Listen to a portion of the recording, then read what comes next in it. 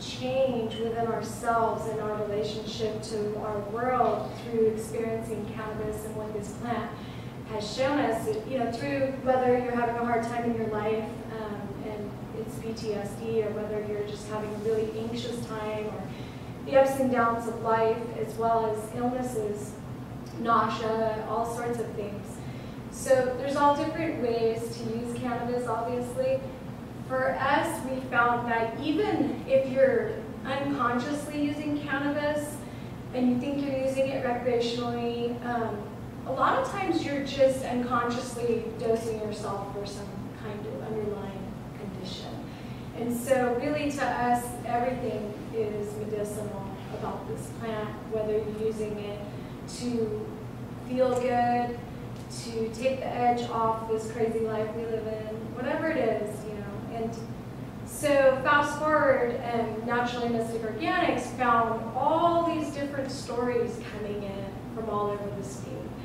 And these people don't know each other, and it's the same thing. Like at first, what you were saying, Josh, just like, is this real? Is this really happening? How can this plant be really shrinking tumors and cancer cells, you know, killing cancer cells and stopping seizures and all these reports and all these stories just are humbling every day that they come in. I, I bow to this medicine and I'm in humble service. And so when it's required to step up and get political, it's something that's not necessarily in my nature that I've done before, but I feel like it's important that as a community we step up and we represent this cannabis plant as a medicine. And we talk and start that conversation about what we need as a community to protect this plant.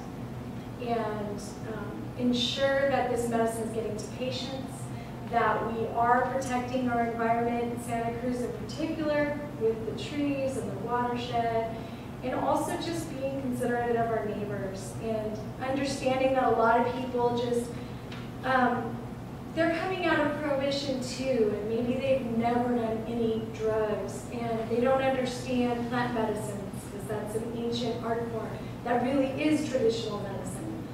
And, um, and being compassionate to those people that maybe don't understand cannabis and why it's so powerful, but help embrace them in your community and help bring them into the fold and, and educate them and help them feel more comfortable about why we're standing up and, and um, that this isn't just some cosmic joke, it's actually real. so that's my thing. Yeah, please. I, and I really appreciate that because I kind of went off on a bit of a tangent, kind of starting out, I was a little nervous, but I really appreciate the comments there because it's, it, you know, part of the miraculousness of this plant and how it has this interaction with our body is, you know, the only reason why cannabis has any effect on our body is because we have this endogenous endocannabinoid system, this, this internal system that, you know, mammals have evolved over millions of years to have this co-relationship with this plant, essentially. And cannabis as a plant is one of the only plants in nature that produces compounds that just so happen to fit to this receptor network, kind of like a key into a lock. And besides what we naturally produce, and so what's really important to recognize is this system in our body, the endocannabinoid system, its sole purpose is to help our bodies to restore and maintain homeostasis. And every day, you know, you have various like small releases of your endogenous cannabinoids, anandamide and 2-AG, that you know you don't really even recognize because they're just releasing small amounts, finding your receptors. Um, but the whole role of the system is, you know, when we get sick and we get a fever, it helps bring us down. Know, mood, you know, you know, every you know physiological role from things like, you know, um, mood, pain, hunger, you know, all are mediated by the endocannabinoid system in some part. And so, um, you know, it, it, it's something I really try to kind of put out in you know these educational seminars that we do at SC Laboratories with collectives that we work with is kind of frame this idea of medicine and practicing medicine and you know the, symbiotic nature of all the systems in our body how can Western medical practitioners and doctors put such dogmatic faith behind in their word to give us a certain medicine that's going to treat our symptoms, how can they be fully equipped to actually do their job if they don't even recognize or have learned or had any training in the fact that we have this entire system, we have a endocannabinoid system. You know, it's kind of like practicing medicine without recognizing that we have a respiratory system, a cardiovascular system. You know, it's like one major component picture that's missing. And so, so kind of just back in that idea of service and stewardship, it's like we as these, you know, it's, it's profound and fascinating how this plant kind of it hits us and we become so like impassioned by it and like we, we want to champion its message. It's almost like kind of like exercises us, you know, and, and you know, in a, in a, putting it in an interesting way, but you know, it, it embodies us and impassions us to kind of speak, you know, and try to help to spread the word, you know, and so, you know, I think it's important to recognize that we as the impassioned members of the community that get it and have been tuned in and turned on, I think we are going to have more effect helping and spreading word in the community and helping people that are going to dispensaries every day or people in our lives make more informed decisions on different ag, different cannabinoids or different ways of applying cannabis that can heal them, you know, um, because the doctors aren't going to catch on anytime soon. You know, so our, our, you know, all, all your, you know, family medical practitioners going to, you know, just all of a sudden go take some continuing medical education classes about the endocannabinoid system. It's pretty far off. You know, there's a lot of universities now that are kind of raising up young kind of doctors with this foundation knowledge of the system. You know, there's a lot of research universities around the United States and around the world that are studying you know, different aspects of the endocannabinoid system. But you, know, you just think about where, how far medicine got to this point, you know, built on this kind of uh, prohibition, this very kind of, you know, um, imminent prohibition against this plant. And now kind of science is coming out and, you know, we're chasing our tail to kind of realize that, you know, cannabis plant, when it turns out, because of its role in stimulating the endocannabinoid system, you know, ultimately probably come out to show that, you know, cannabis is one of humans' primary plant medicines, primary medicines, you know, for health, because it's such, it covers such a wide ranging, you know, amount of, you know, um, different conditions, because, you know, we have endocannabinoid receptors all over our skin, you know, all throughout our central and peripheral nervous system, all throughout our immune system, throughout different organs like our liver, kidneys, lungs, or throughout our microbiome and our digestive tract. And so, yeah, I mean, it's, a, it's such an important system to help to regulate homeostasis of other systems. And, and, and lastly, the, I don't mean carrying on, but um, there's this whole kind of, uh, there's this hypothesis, this, uh, this researcher came out with uh, a guy named Ethan Russo um, a few years ago, um, and he, he, titled this kind of scientific paper uh, he put out called the Clinical Endocannabinoid Deficiency uh, Syndrome. And it's this paper that kind of describes, you know, the root etymology of certain types of disease and disorder, things like migraines, things like fibromyalgia, things like certain types of digestive tract conditions, you know, gastrointestinal tract disorders, and certain types of autoimmune conditions are being described as an endocannabinoid deficiency syndrome. So for whatever reason, whether it's like, you know, response to vaccination or pesticides or, you know, some epigenetic stress factor from when you were born, but for whatever reason, you know, your endocannabinoid system isn't firing correctly, so you experience this type of disease. And, and you know, just over the last five years, there's been, you know, what started as this hypothesis of this clinical endocannabinoid deficiency syndrome is now, you know, one of the most studied kind of topics in endocannabinoid research.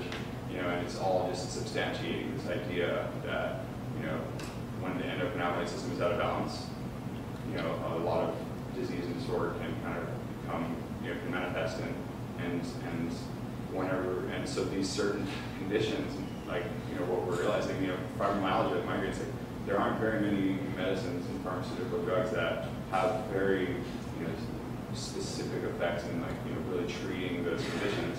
You know, opiates don't really work in fibromyalgia, this neurologic pain, but it seems that cannabis is being showing itself to be more effective. And so, so the whole idea of this clinical endocannabinoid, uh, endocannabinoid syndrome is suggesting that, yeah, the root cause of these conditions, you know, might very well be your endocannabinoid system out of whack, so supplementing with plant cannabinoids, you know, might be one of the best things that you could do.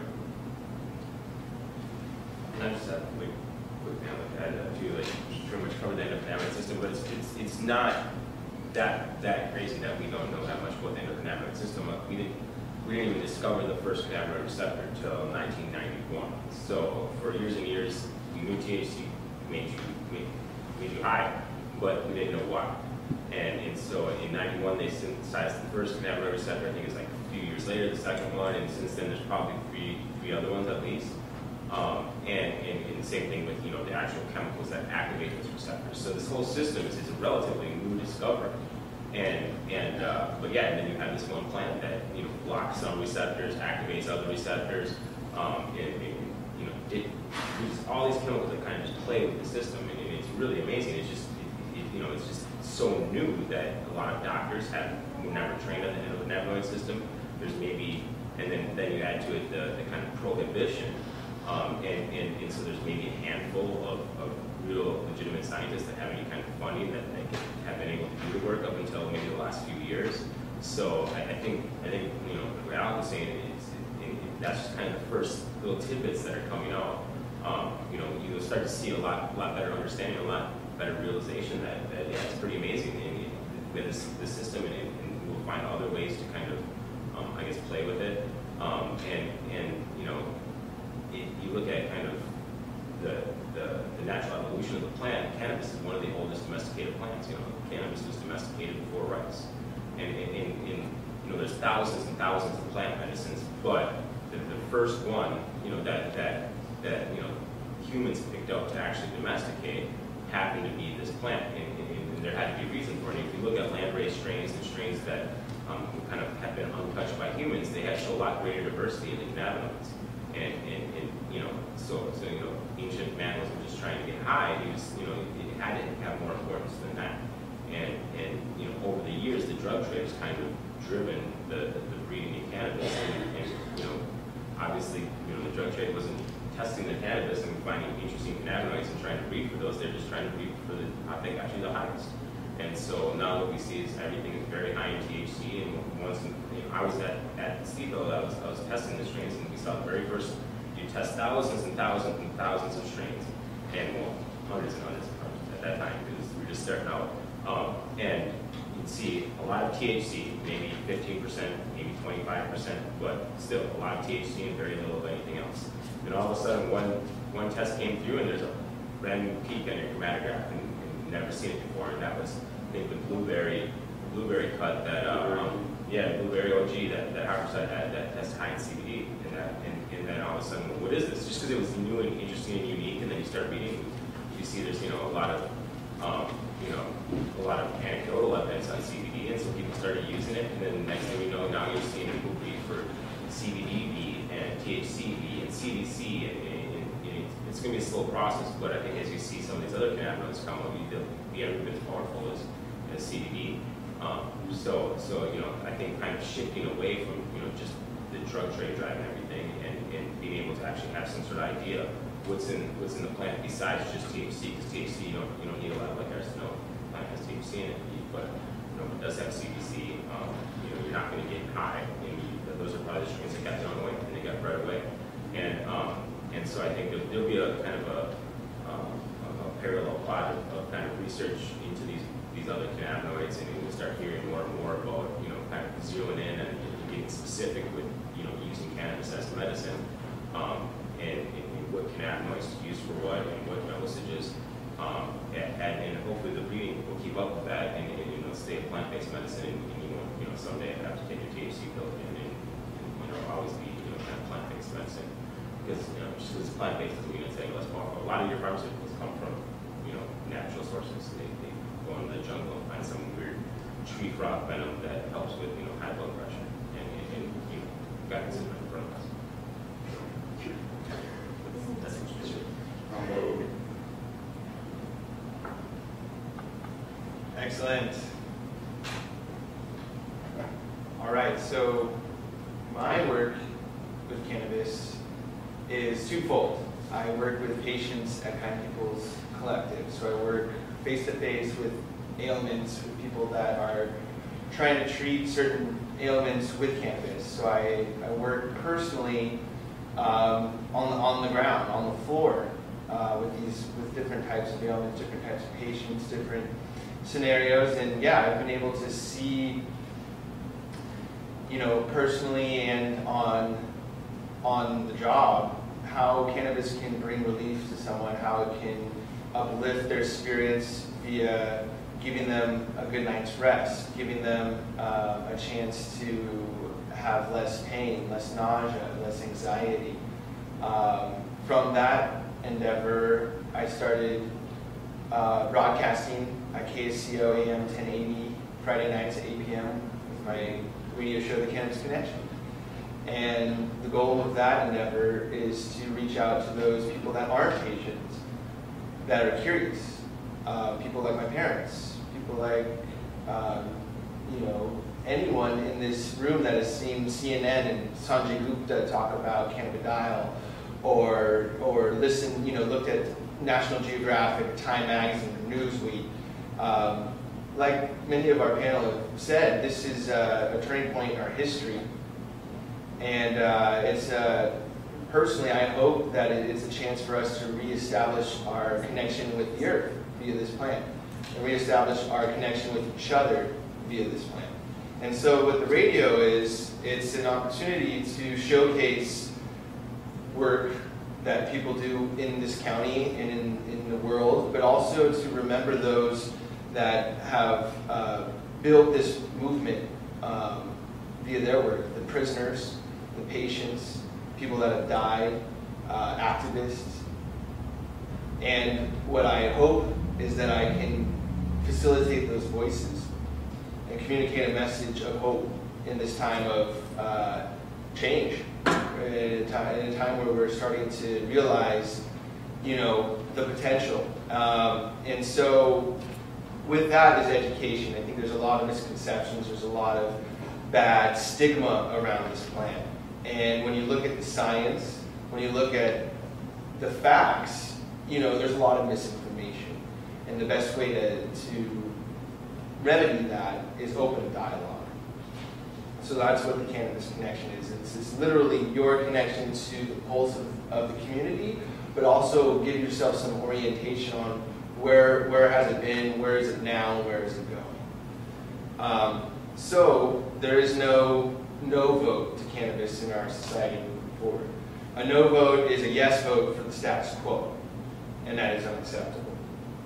So moving forward, education is key. And so we need to just recognize that cannabis is the, the single largest and most valuable agricultural product of California, period. Uh, it is safe, and it's a valuable crop.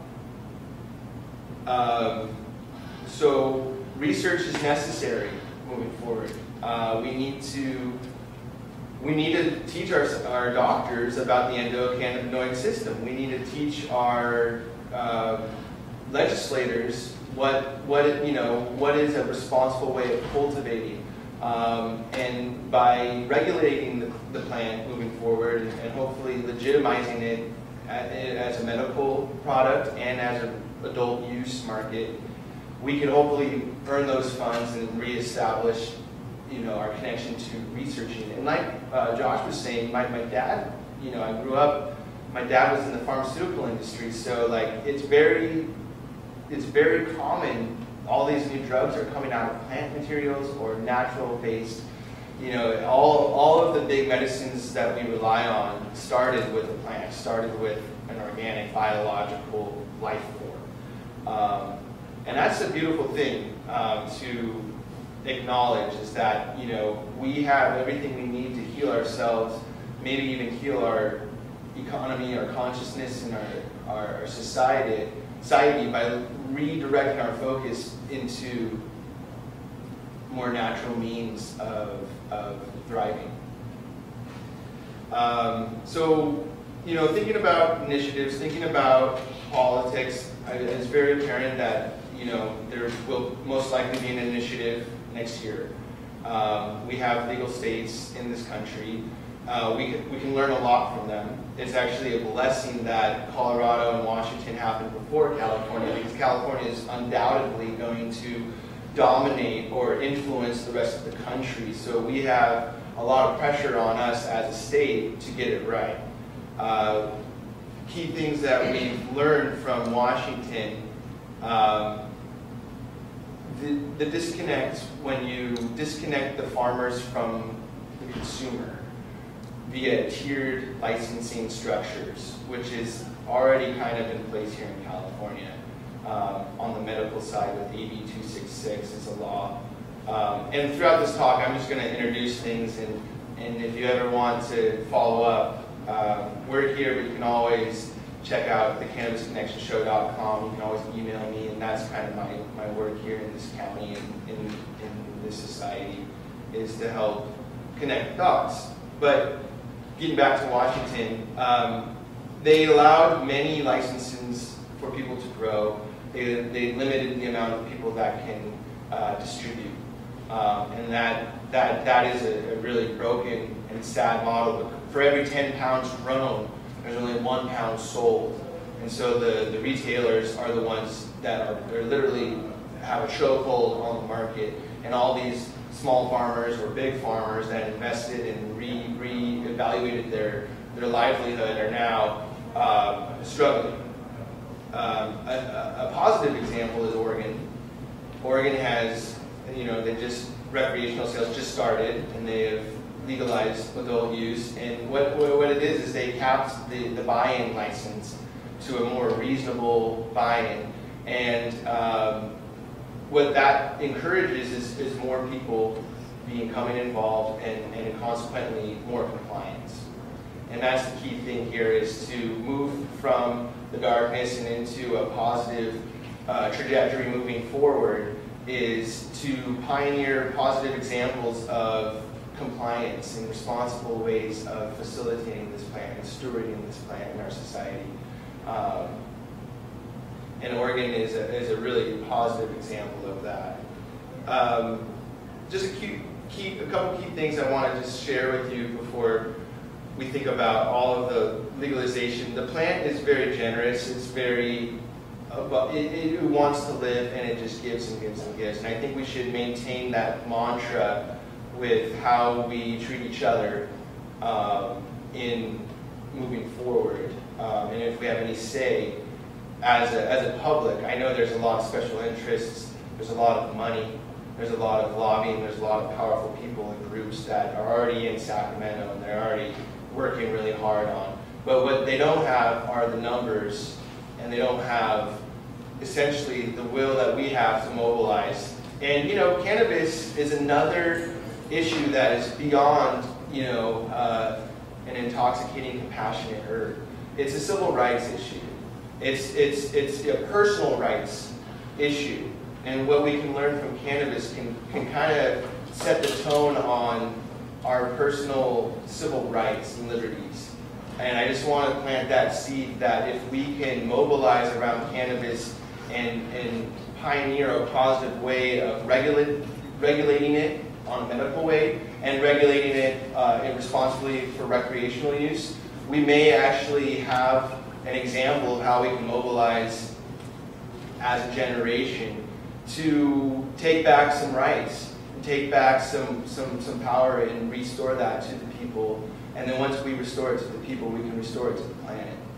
And that's what I want to communicate with, with the show and with my work, is that by caring for this herb, we're caring for humanity. And by investing in this herb and sharing, you know, not limiting who can participate, not setting exorbitant fees that only millionaires can partake in. It's a huge pie. The pie of the cannabis gift is massive.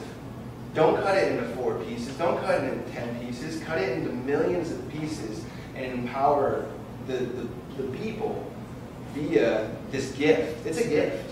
It's a huge blessing that we're able to recognize that this plant is not only a, a harm reducer, but it, it's, it's a, medicine and it, it, it, helps us you know, return to homeostasis in our bodies, but in a lot of ways, it, it can help us return to homeostasis in our consciousness.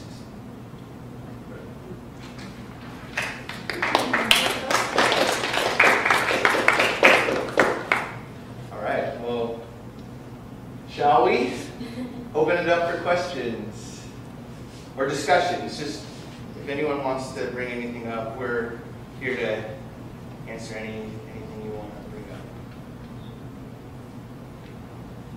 With the, with like hemp towards um like biofuels or something, other than just getting high, like hemp as a plant seems like some some research I've done, seems like hemp might be an alternative for like instead of using corn or something like that, might be more efficient um a or something. Do you know much about all that effects or? Or I mean like uh, so some of what I and I, I feel like I, a little bit of a, more more information. I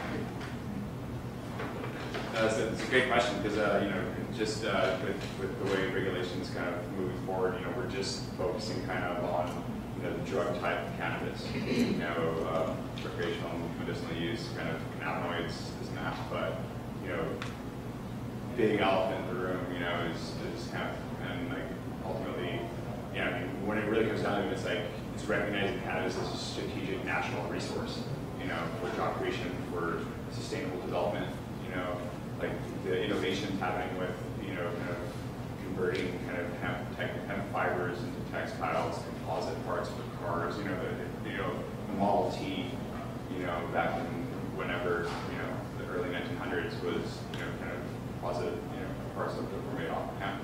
Hempcrete, you know, hempcrete's this huge, like, mind-blowing realization. of, like this incredibly, you know, low cost, you know, high efficacy, you know, kind of uh, building material. You know, so it's like the, you know, you know, when you consider like the dairy industry, there's there's all these like incredibly offshot kind of auxiliary industries, secondary industries created off dairy. You know, ice cream, you know, and cheese, every, everything else. And so, so you know, we're talking about cannabis, kind of drug type cannabis, medicine, everything like that. But you know, whenever you know the United States starts to really kind of carve up hemp production, and and when you consider kind of where are all the jobs in the United States, you know, you know how many kids are being pumped through universities every day, you know, hundreds of thousands of dollars in student loan debt, and we shot the job sector of service industry jobs, like all jobs. So how many, you know, with TPP, the Trans-Pacific Partnership recently passed, which is very kind of scary the prospect of what you know, uh, you know, kind of, you know, the idea of free trade and kind of um, you know, how, how we can as a nation figure out how to create, jobs within and, um, and, and fuel kind of the next wave of you know, green development. And it's recognizing cannabis again as a strategic national resource, you know, as well as, you know, one of the you know, powerful tools in our tool belt to help us uh, get to some sort of uh, green or sustainable regenerative society. Um, but yeah, I mean, hemp biofuel, you know, hemp everything, you know, omega-369 fatty acids. You throw, you know, a handful of seed and there's tons of different types of seed out, you know, birds will always selectively choose to eat hemp seed, you know, um, you know, and it's just some instinctual understanding of like health benefit of. But yeah, 369 fatty acids, everything on it. I wanted to add, on the political side of things, one would think that hemp would be legal. Um, the National Hemp Industry Association has been really upset with California. And they haven't been able to legally cultivate yet. Here we have this huge cannabis industry for the last 20 or so years here. So I've had a lot of discussion with them. There are some state initiatives that will have language that will legalize hemp included in, they might have a little section for that. So they're really happy about that because that could open the door for, you know, thousands, if not hundreds of thousands of jobs and just the innovation that happens out in California alone. Um, and the money that's here that could do research and, and um, develop products and actually produce them and manufacture them. So look for that. Um, when the state initiatives come through, I advise everyone to like try and read it or consult with an attorney to translate it for you or you know, do your research. Don't just trust what's out there on Facebook because a lot of these people don't know what they're talking about. So, no offense, no offense, but I, I do like the facts. I'm a factual type of person. Well, yeah, well, yeah, that's, that's exactly what I was gonna say, and I had the same idea. Um, so yeah, I just wanted to briefly say that, you know, the, um, cannabis and hemp are the same thing, so I think, um, you know, I, I think, uh, that, that's a distinction that will be, you know, kind of, um, less and less concrete going forward. Um, all, the, the, the same species of plant, all that makes a hemp plant, a hemp plant as opposed to a cannabis plant, and that's the law, is the THC percentage that the flowers produce. So, you know, we're talking about a lot of these other cannabinoids that we're start, we start, starting to produce in greater abundance for medical conditions. And, um, you know, a lot of the strains that we test in the medical cannabis market, you know, meet the legal de- definition of hemp. They have very little THC in there, it's all CBD. Um, and so, um, yeah, we were talking earlier about, you know, the kind of panacea that cannabis is for, for medical purposes and for, for just kind of all around health. And then, um, you know, you start talking about things cannabis provides, I mean, you shouldn't separate them out because it's all cannabis. And, and cannabis and also provides panacea of, of industrial and agricultural uses. And, and Alec mentioned all, all the things, plastics, you know, that So- produce. Can I add to that? Yeah, Or ask of a question? Yeah. So, um, except to say that the national hemp industry, um, they're actually upset about the confusion in the marketplace because what we're talking about, and I know this is weird because it's the only plant that we don't, um, you know, that we separate the name, but the- when they talk about hemp, they're talking about industrial hemp, which generally is not grown for the, or for the flowers, it's grown for the stalk and the fiber and the seeds and, and all that.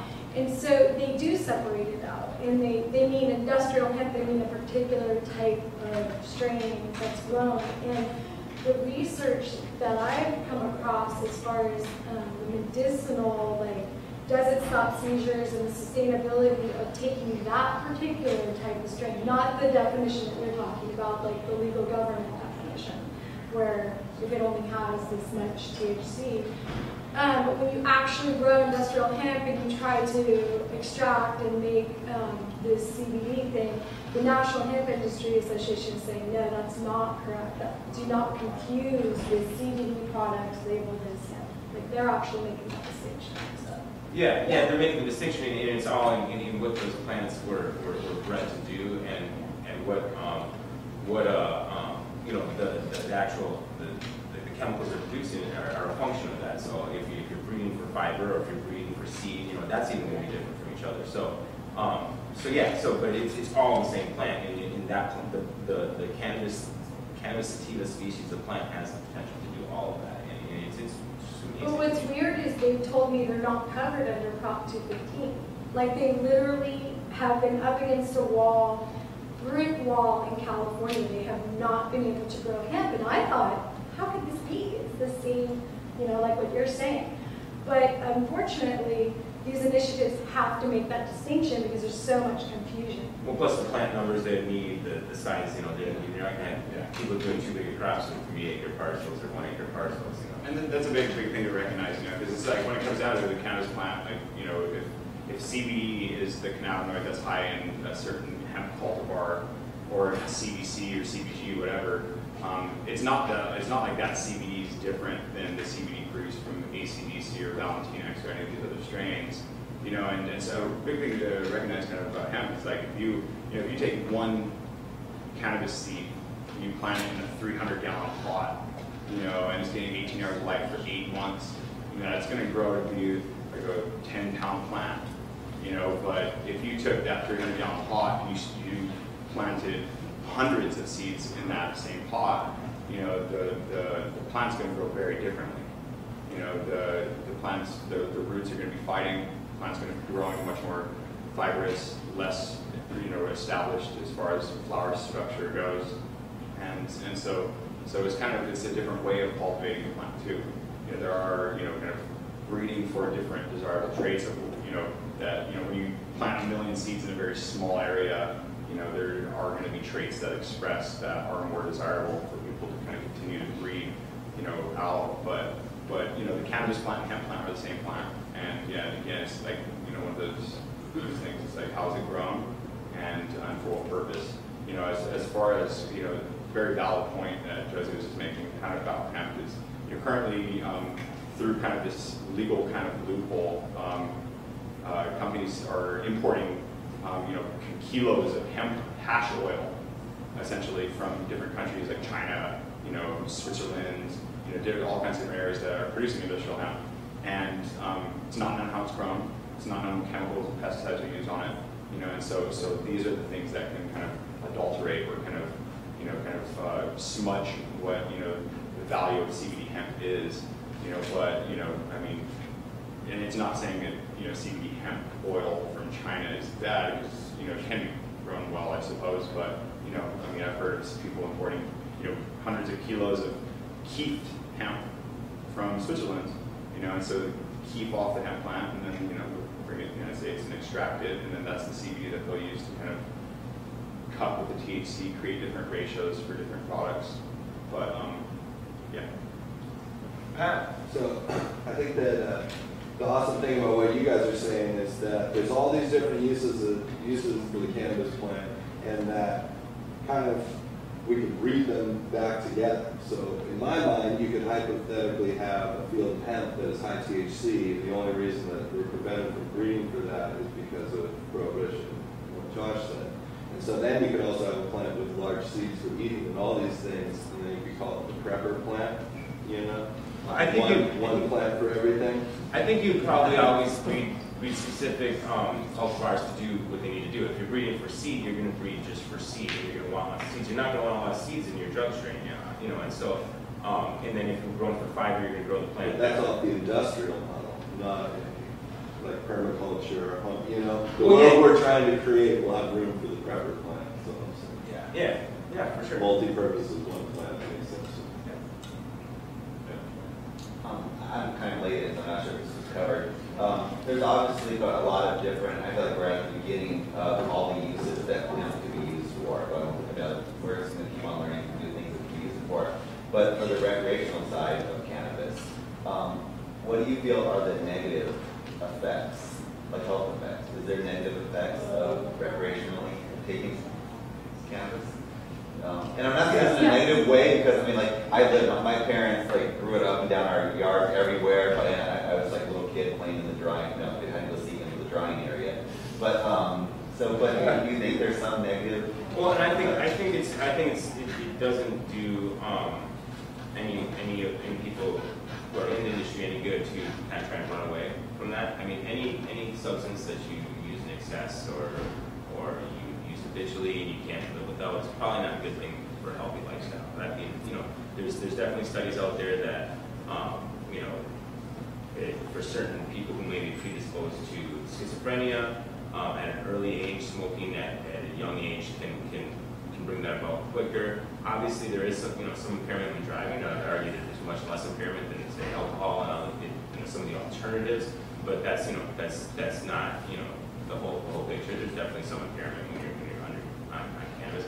Um, and, and I think, yeah, there's the, um, idea of using excess. I, I know, like, the whole, the whole dab culture, and with dabs, you, you can definitely, you know, really use a lot of cannabis, and that downregulates your system, and, and, and, actually, you know, alters your endocannabinoid system. The beauty of it is, is, is, your receptor density, well, it decreases, so you basically stop making, start making as many receptors, um, in, in the presence of excess amounts of cannabinoids. They, they bounce back really quickly. Um, the study I read said about thirty days. Um, and so, um, but, but there, there are some, some, some health benefits for certain, or health risks for certain individuals for excessive cannabis use. But the beauty of it is, is in, in looking at it kind of like from the pharmaceutical context, there's very, very few substances out there that, that are as non-toxic as cannabis. There's no LD50 established. As a chemist, when I get a new chemical in the lab, I look what the LD50 is, and that's the, the, the amount that can kill 50% of laboratory animals. And so that's kind of like, that's the legal dose right there. And cannabis has never been established. And, um, you know, you can't say that about ibuprofen, you can't say that about, you know, a ton of things that we just take over the counter. You can't say that about salt. You know, you can, you can pretty quickly, or, or caffeine. You know, caffeine, you know, a very small amount of caffeine can kill you. And so, so yeah, I mean, it, so to have something that's actually a powerful medicine that you can kind of self-titrate and experiment with is really powerful because you're not going to die, you're not going to, you're not going to kill anyone. Um, and, and so, so, so yeah, it, it's exciting in that way. And, it's the only way we've been able to experiment up until now because there's been no legal state experiments yet. And yeah, I was just gonna add to that point, um, and, and, uh, you know, I think, uh, you cannabis could in very many ways be considered a performance enhancing drug. And, you know, I mean, Olympic, you know, athletes, cyclists, football players, NFL, you know, NFL just, I think, it was the NFL, NBA just recently kind of took it off the list of testing substances. You know, and so, so you can, you know, you very much utilize cannabis, you know, if you're motivated to be motivated and to do very motivating things and to kind of, you know, charge it in your life. But the problem with it also is if you're on the opposite end of the spectrum and you don't have a job and you're not motivated, you can very much use cannabis in a negative way to exacerbate that. And, and you know, you know, you can kind of see that a lot with the dab culture and how, you know, kind of how young, you know, kind of people are just kind of just way too dabbed out on, you know, kind of hash oils and concentrates. You know, um, as far as like, you know, negative effects health-wise, I don't think, I mean, you know, you could very much consider cannabis a vitamin, you know, and, and it's like, you know, I mean, THC is THC, and, you know, there, there are, um, you know, the psychoactive effects and the, the dulling effects that people can experience, and, and, you know, people that are not motivated, the way they can use it to kind of continuously be not motivated, that's negative, but as, you know, as far as the health consequences, um, you know, I mean, you know, famous report called Tashkin reports. Um, it was uh, Donald Tashkin, you know, showed, uh, you know, he worked for National Institute of Drug Abuse, um, NIDA, who funds studies that um, look for the negative uh, aspects of drugs and, and try to substantiate those. And so they were trying to show the, the, the effects that cannabis has on uh, cancer. And so they, they took uh, test groups of people that smoke cigarettes, people that smoke nothing, and the people that smoke cannabis. And they found from you know this long-term study that people that smoke cannabis not only have less of a chance of getting um, throat and neck cancer people that smoke cigarettes, but they also have less of a chance of getting the same type of cancer than people who don't smoke at all.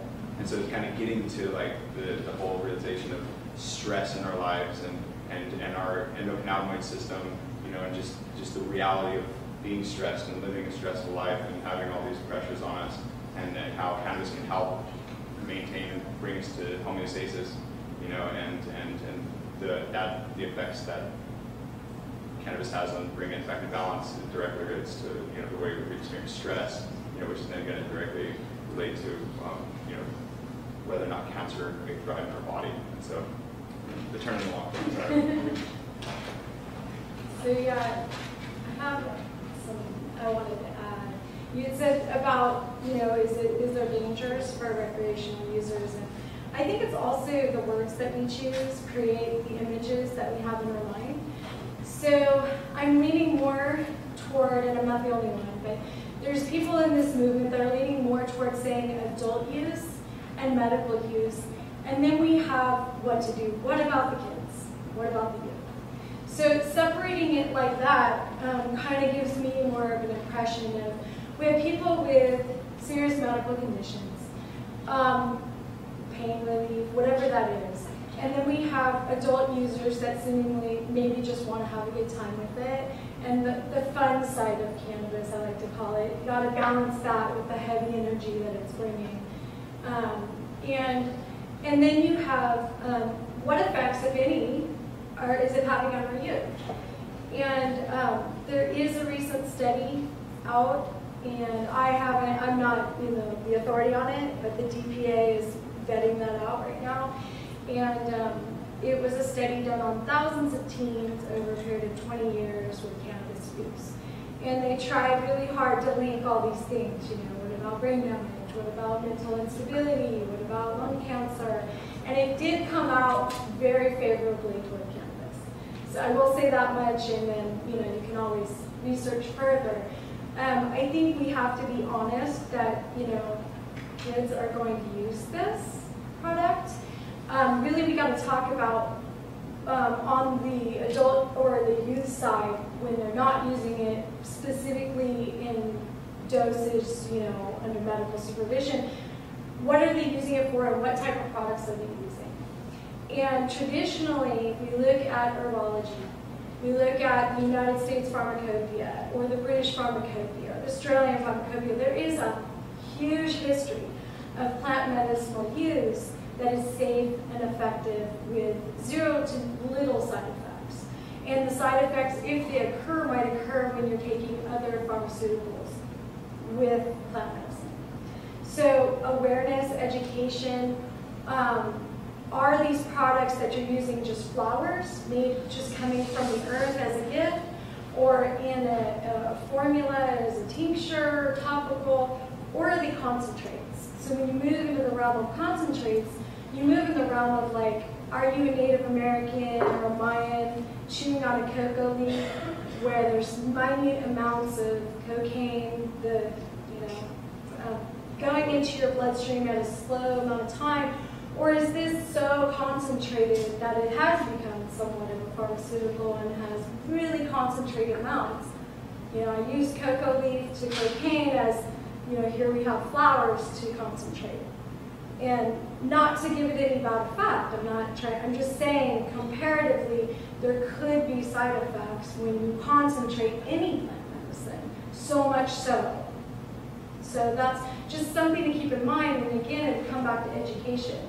You're gonna jab someone a huge amount on their first jab, they may have a seizure. They may uh, black out.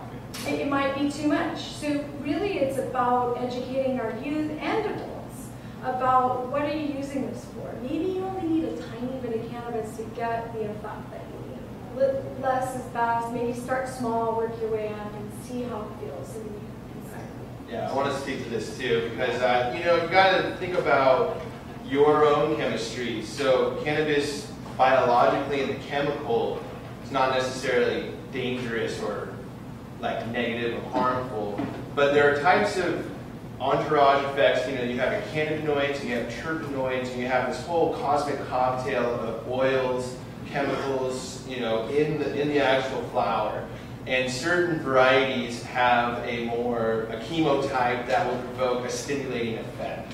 And if you're an anxiety prone person, you, you take that, you know, stimulating flower and it gives you, your anxiety spikes, and that could be considered a, a negative effect. It's not that the, the biology that's happening, your heart is racing, you feel like you have a heart attack, or I don't know, yeah, you know, you feel like this is a harmful thing, but it's actually just, you have to be paired with the right flower. Each person is unique, each person, I mean, there's so many people that come and I consult on the floor where they're like, I just want this one blue dream because every time I do it, I, I feel good, you know. And anytime I do something else, I feel sad, I feel too scared, I feel paranoid. So it's not that, you know, the, the flower itself, cannabis and the, the cosmic cocktail of terpenoids, cannabinoids, and, you know, those aren't bad. It's just finding what works best for you and knowing yourself going into it. Like, how am I? Am I more of a sleepy person, maybe I do need a stimulating flower than a sedative indica or, a kush that's just going to knock me out.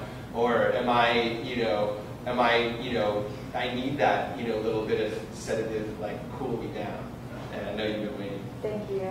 Um, so I know that you guys have already mentioned about the cannabinoid, uh, cannabinoid receptors in our DNA, and that there's um, only so much cannabinoid receptors that are being expressed in certain locations. And as time goes by, we're going to know more about new locations and new spots of our body where we are receiving cannabinoid receptors and they are uh, taking action and role. That's where I'm assuming that it inlines our health industry. Um, knowing that and knowing that we're going to be progressing in our research and our knowledge of cannabinoid receptors and also the health industry, where do you guys see um, this going in the future as well, like in the industry of testing, modifications, um, in the health clinics, uh, seeing it grow, um, legalize. I would like to know where do you guys see this growing in the next five to ten years? One thing I just want to point out before we get into that, all of that is that, and that's a great question. I, I, I hope, what I hope to see is an abundance of genetic diversity and making that open source public belongs to the people you know because the more genetic variations the more uh, diversity we can nurture in our breeders because people don't make strains. Plants make strains. Men, you know i don't make pollen. Cannabis makes pollen you know and then they make seeds. And so what i hope is as as we free up the, the prohibition and enable people to get involved, I would love to see new, new breeders coming in and developing these new types of flowers that will, will specifically target, uh, you know, it's going to be amazing to see how we can, you know, some people say even like, you know, South African Malawi strains help with uh, weight loss. And then there's a lot of cannabis that helps have an appetite, you know, but we'll find different landrace cannabis from different parts of the world that can help for specific things. And the goal is to not have Monsanto come in and patent their their Monsanto cannabis and, and have that as the two buck chuck of cannabis moving forward. I hope that we have, you know, the vineyards, you know, the, you know, Pliny the Elder and Lagunitas of cannabis where it is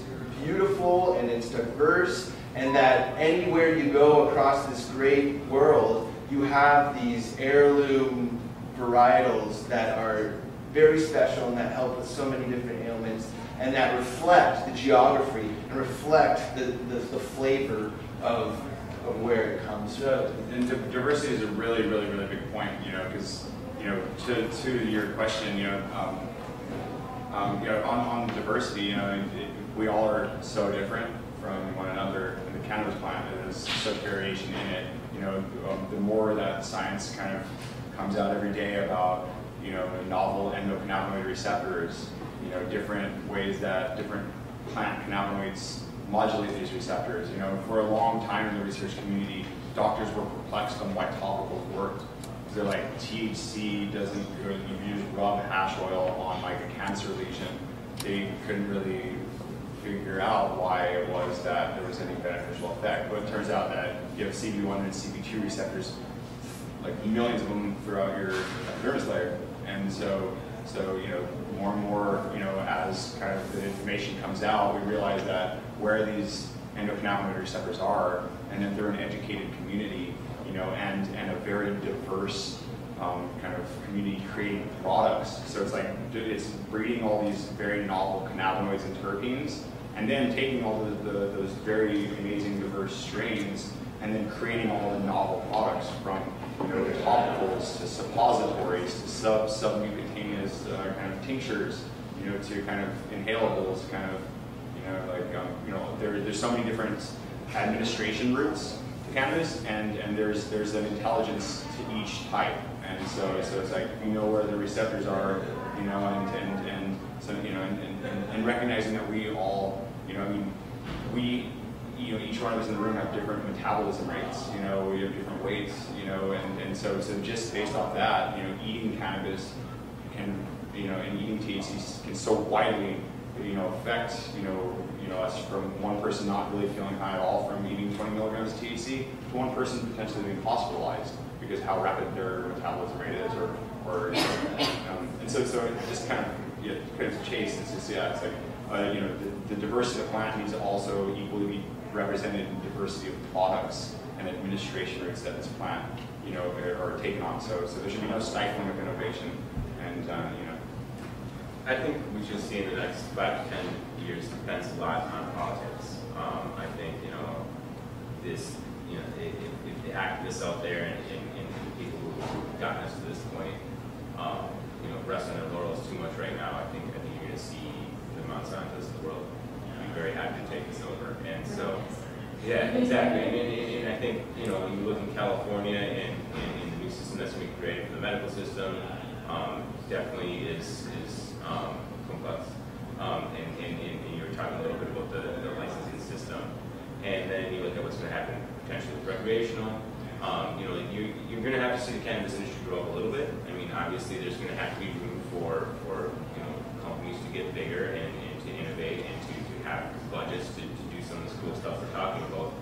But at the same time, um, when you look at some other states, you look at the state of Illinois, they were gonna issue two, two production permits, I think, for the entire state. And, and so, um, very easily to the, the, the whole system could get monopolized and if the right people, kind of come in and, and, and, and try to do, do, it that way. And, and big money is gonna try and, you know, carve it all up for themselves, because that's just the way it works. And, and so I think if, um, you know, if, if people who really care about the plant and care about having a, a diversity of, of genetics and products and, and, and to have choice and, and to have a place for the microbrews and have a place for the Budweisers, um, you know, then, then I think it's, it's gonna be on all of us to, to vote that way and to, to make it, you know, make it known to, to the people who make those decisions that, that that's important to us and, and, and we'd be really pissed off if they don't, you know. So,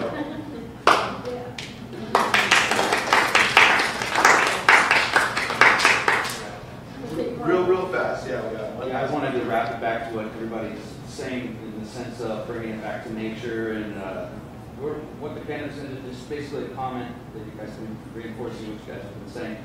is that we're essentially taking a different approach to wellness than the conventional models of- in- of uh, blanket remedies. And so it, you know, going into the dangers and the titration and, you know, one side and the other, it's about an intuitive process, which brings us back to ourself, which will take us back to nature. So I just wanted to add. Definitely. On, on that, on that point too, it's, uh, it's beautiful, and, you know, um, it, uh, I highly recommend kind of, you know, anybody that hasn't read the book or seen the documentary, um, a book called Botany of Desire, uh, by this world-renowned food expert, Michael Pollan. Um, you know, incredible book, but it kind of, you know, um, you know, I haven't read the book, documentary, but, you know, it takes these four crops that man has cultivated over millennia, you know, from potatoes to apples to tulips to cannabis. And um, it's this um, amazing kind of uh, you know concept of how you know how, how man has used human, excuse me, um, how human has used um, you know these plants for millennia to cultivate for these desirable traits that we want. And what's really funny is it typically has to do with intoxication, you know, um, in, in a, lot of these cases.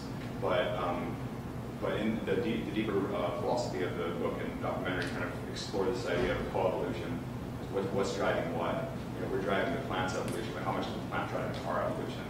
And we need to especially start getting into some of these you know, deeper, wiser kind of plant medicine spirit teachers like cannabis and some of these other entheogens that have been utilized for thousands of years by indigenous cultures across the planet. You know, there is definitely a, a profound, deeper wisdom that seems to bite people that you know kind of start using cannabis, and and I think um, in it, you know, it's there's a deeper message that's the saving and killing the earth. So, oh, just if you guys want to learn more, um, you can uh, listen to the Cannabis Connection, 8 p.m. on Fridays. If you want to get involved personally, uh, that there's uh, Cannabis Advocates Alliance Wednesday meetings, the first and third Wednesday. Also, uh, there's the Santa Cruz Cup coming up November 8th, which is another great event that will be a nice gathering of the local cannabis community. You can always email the Cannabis Connection Show at gmail.com. And then local places like Kind People's Collective, they have First Friday events. So if you ever want to engage with other uh, knowledgeable people, those are great places. And um, thank you so much for being here. I wanted to add another thing, that um, right now we're in a current transition, and what our political action committee, Responsible Cultivation Santa Cruz, is doing is to help bridge this transition period by taking what's going on locally and with the state and creating, at least helping to facilitate a clear pathway into legitimacy for the existing cannabis industry. Whether that be patients concerned about maintaining their right to grow and access medicine, whether that means the businesses that are somewhat invisible here in Santa Cruz County can step forward and get legitimacy in Santa Cruz because they're going to need it in order to get licensing from the state. So it's rcsantacruz.org, and we are, um, that's what we're working on, just bridging that gap and helping us all um, take a stand for this beautiful plant. Thank you.